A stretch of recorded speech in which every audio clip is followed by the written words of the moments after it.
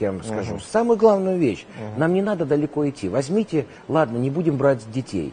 Вот кто э, у нас э, иммигранты? Они все сейчас вернулись назад и работают в России. Ну, не все. Это все. В Силиконовой долине программисты Все, себе сидят нет, совершенно нормально, ни одного из них... И эти вернутся. Как только Ну, от компьютера оторвутся, пойдут в магазин, пару раз им там плюнут э, э, какой-нибудь афроамериканец в лицо, и все, они сюда приедут назад. Дело не в этом. Вы посмотрите наши, Успенская, все. Они все там А, ну были вы опять нищие. про шоу-бизнес. Они это бедствовали. понятно. Да нет, Это- все нет, там этими- бедствуют. Нету там. Но есть там какой-то один программист, который там один хорошо живет. А в основном-то все иммигранты бедствуют. Вы назовите мне хоть одного русского, кто там поднялся. Кто вот с детского дома. Вот мы, например, Шатуновым с детского дома. Я через 9 лет стал первым советским миллионером. Я бы в Америке стал, да никогда бы в жизни. Я бы там бичом был и э, сто процентов жил бы в канализации.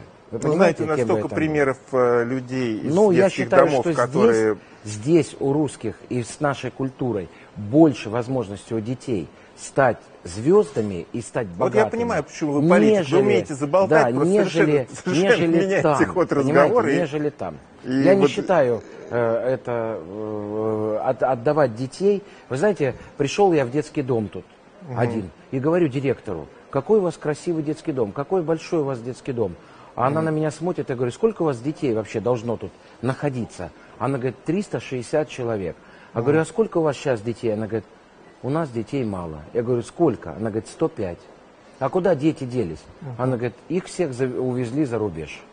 Вы понимаете, их отвезли за рубеж. У нас стоит детский дом пустой. Там из д- 210 детей не комплект. Скажите, а у вас А там у, всё у- у есть. самого нет желания взять и усыновить э, У меня, ребёнка? двое, у меня двое детей, а все мои участники «Ласкового мая», они все мною усыновленные. Потому что возьмем Андрюшу э, Гурова в 11 лет, Миша Сухомлинов в 10 лет пришел, Юра Ну, Шатунов в все 14, понятно, но, 13. Андрей, А это все думаете, был инструмент а кто я? извлечения А прибыли. кто вы я? выбрали чем талантливых здесь? детей, При чем вы здесь? их катали, получали Разина- деньги. А взять больного какого-нибудь ребенка, который петь не будет Я хочу и танцевать не сможет. Да, я вам скажу, «Ласковый май» перечислил на детские дома, дома инвалидов и детские дома. Это все, это мы все про, про, про Атару мы миллиона, услышали. Э, услышите Личный пример цифру. политика. Два с половиной миллиона долларов США. Мы только перечислили за пять лет создания группы «Ласковый май» детским домам.